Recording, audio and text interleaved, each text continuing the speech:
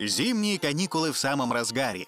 Если ты наелся мандаринов, получил все подарки, самое время для новых впечатлений. На ВДНХ в павильоне номер 67 «Карелия» открыта бесплатная выставка о вирусах и вакцинах. Тема актуальна как никогда.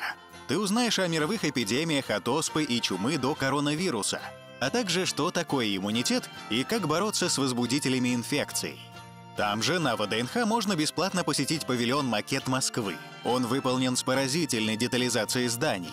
На площади более 400 квадратных метров представлены 23 тысячи объектов. Интерактивная система макета позволяет воссоздать естественное освещение города с движением солнца, облаков и прочих природных явлений. Если хочется чего-то романтичного, ироничного и поэтичного, отправляйся в выставочный зал Дома Гоголя. Там открыта новая экспозиция под названием «Примус Пушкин Патефон» или «Игра в счастливое прошлое». На выставке представлены игрушки. В них не играют ни взрослые, ни дети — также показаны предметы декоративно-прикладного искусства, которые таковыми не являются. А после выставки сможешь раскрыть секрет ее названия. Для владельцев социальной карты москвича или карты москвенок вход свободный.